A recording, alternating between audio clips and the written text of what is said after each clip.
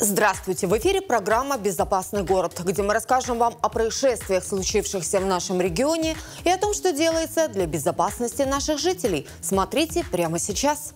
Задержан с поличным. Арестовали начальника межрайонного отдела полиции. Пресекли теракт. Украинский диверсант предстанет перед судом. Хотела питона. Девушка попалась на удочку мошенников в сети интернет.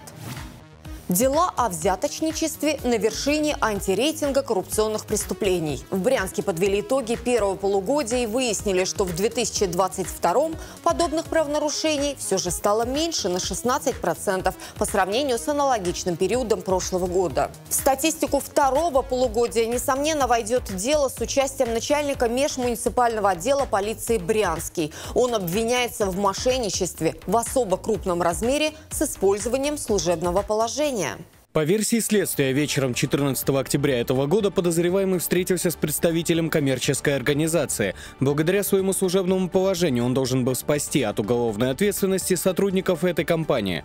Злоумышленник получил 1 миллион рублей из требуемых пяти. При получении взятки был задержан. Следственными органами Следственного комитета Российской Федерации по Брянской области возбуждено уголовное дело по признакам преступления, предусмотренного частью 3 статьи 30, частью 4 статьи 159 Уголовного кодекса. Покушение на мошенничество, совершенное с использованием своего служебного положения в особо крупном размере – Преступление выявлено и пресечено сотрудниками ФСБ России по Брянской области, службы собственной безопасности органов полиции региона и Следственным комитетом. Подозреваемому предъявлено обвинение. Сейчас он заключен под стражу. Расследование уголовного дела продолжается. Еще одним громким событием прошлой недели стало задержание в Брянске украинского диверсанта. Он готовил теракт на одном из транспортно-логистических терминалов. Преступник действовал по заданию Службы безопасности Украины. Об этом заявили в пресс-службе ФСБ России. Мужчина прибыл в Россию через Эстонию. Украинская спецслужба подготовила для диверсанта схрон с компонентами взрывчатки, из которых и было собрано трехкилограммовое взрывное устройство. К счастью, правоохранители предотвратили теракт.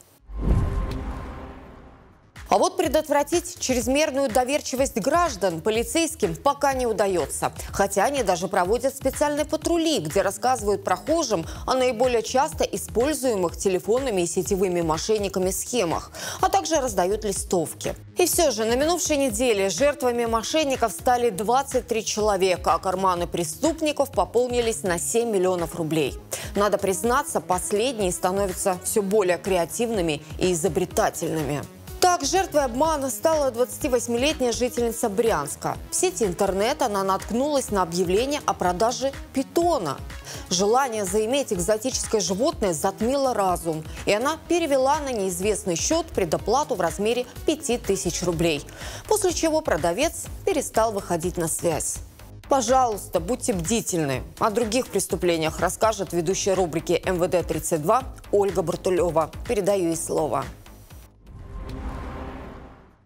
Здравствуйте! Брянские полицейские задержали подозреваемого в магазинной краже. 10 октября в полицию поступили сообщения о пропаже товаров из двух магазинов, расположенных в Советском районе. Продавцы сообщили полицейским, что неизвестный похитил средства личной гигиены, продукты питания и элитные алкогольные напитки. Общая сумма ущерба составила более 8 тысяч рублей.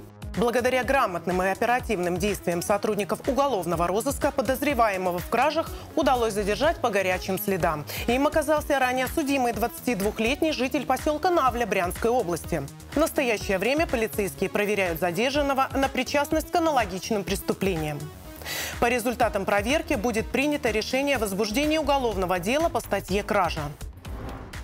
В Бежецком районе арестован мелкооптовый закладчик. Оперативные сотрудники отдела по контролю за оборотом наркотиков городского ОМВД задержали 22-летнего жителя города Тверь.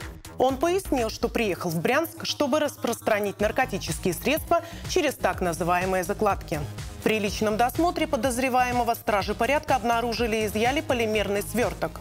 Эксперты вынесли заключение, что изъятым веществом является наркотическое средство массой 106 граммов. В отношении молодого человека было возбуждено уголовное дело. В настоящее время фигуранту предъявлено обвинение в совершении преступления, предусмотренного частью 4 статьи 228 прим. 1 Уголовного кодекса Российской Федерации. До суда он будет находиться под стражей. Сотрудники уголовного розыска по горячим следам раскрыли кражу велосипеда. В дежурную часть полиции МВД России по городу Брянску обратилась 38-летняя местная жительница, которая сообщила о пропаже. Оперативники городского УМВД в тот же день установили личность подозреваемого и задержали его. Им оказался ранее судимый за аналогичные преступления 34-летний местный житель. По предварительным данным установлено, что мужчина расхаживал по подъездам в поисках наживы. В одном из них он обнаружил велосипед, не пристегнутый противоугонным устройством, похитил его и спрятал в этом же доме на верхнем этаже. Следственным отделом городского ОМВД возбуждено уголовное дело по признакам преступления, предусмотренного частью 2 статьи 158 Уголовного кодекса Российской Федерации. Кража. Полицейские приняли участие в проведении круглого стола по профилактике коррупции. Мероприятие прошло на базе Брянского филиала Российского экономического университета имени Плеханова. В работе круглого стола приняли участие преподаватели и студенты вуза, начальник отдела управления экономической безопасности и противодействия коррупции регионального УМВД подполковник полиции Алексей Романов, а также сотрудники иных правоохранительных структур региона. Алексей Васильевич рассказал о формах коррупции коррупции и ее проявлениях в различных сферах жизни, а также о вредных последствиях этого явления. В завершении участники мероприятия обменялись мнениями и ответили на вопросы студентов. В Советский районный суд совсем недавно поступило уголовное дело по обвинению местного жителя в нарушении тайны телефонных переговоров и разглашении коммерческой тайны. Обвиняемый, работая в офисе продаж оператора сотовой связи, незаконно фотографировал и передавал через мессенджер персональные данные и детализацию переговоров нескольких абонентов. За эту услугу его личный счет пополнился более чем на 9 тысяч рублей. После очередной попытки получения детализации абонента действия обвиняемого Иванова пресекла служба безопасности оператора сотовой связи. Судя по тому, что практически каждому из нас звонили незнакомцы, называя нас по именам, утечка персональных данных – не редкость. А что о защите наших данных говорит закон? Об этом я и спрошу у старшего помощника прокурора Брянской области Лили Кравченко. Лиля, здравствуйте. Здравствуйте. Скажите, а защищены ли законом права граждан на сохранность личной информации? А, да, поэтому в нормах права установлен ряд а, наказаний за разглашение такой информации и ее передачу третьим лицам. Контролирующим органом в сфере защиты персональных данных является Роскомнадзор. Э, данный орган может провести проверку оператора, например, на предмет исполнения ранее выданного предписания. Проверка может быть как плановой, так и внеплановой. Э, если оператор осуществляет передачу третьим лицам личных данных субъекта без разрешения, то согласно соответствующим статьям виновное лицо можно привлечь к гражданской ответственности, дисциплинарной, административной и уголовной. Как же себя можно обезопасить? Э, ну, например, чтобы никто вот на мой паспорт не взял, например, кредит. А, ну, во-первых, необходимо не сообщать о себе никому ничего. И в современном мире действительно это сложно сделать. А вот соблюдать определенные меры предосторожности а, можно и нужно. Всегда необходимо задаваться вопросом, кому и зачем вы передаете информацию о себе. Поэтому оставляйте как можно меньше информации при заполнении различных форм, например, анкет. Особенно аккуратно необходимо быть при отправке фото паспорта и других документов. Во-вторых, смотрите, как соотносится деятельность организации и ее интерес к вашим данным.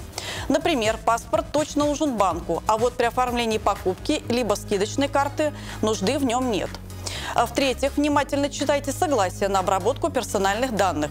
Из него можно узнать, кому и с какой целью организация может их передавать. А, кстати, согласие на обработку персональных данных можно отозвать в любой момент, полностью либо частично. А В-четвертых, в интернете проверяйте SSL-сертификат. Он показывает, что веб-сайт принадлежит легальной организации, а не мошенникам. Для этого в адресной строке браузера наведите курсор на значок замочка рядом с адресом сайта и убедитесь, убедитесь, что сертификат выдан именно этой организации. Лилия, спасибо за такую подробную информацию. Брянские школьники побывали в гостях у полицейских кинологов. Под патронажем УМВД России по Брянской области на базе городского лицея номер 2 действует класс правоохранительной направленности. Именно эти учащиеся увидели, где и как содержатся четвероногие стражи порядка. Узнали, как полицейские собаки обеспечивают безопасность, ищут преступников и попавших в беду людей, а также обнаруживают наркотики, оружие и взрывоопасные предметы. И на сегодня это все. Цените свою безопасность как самое главное ваше право. До встречи!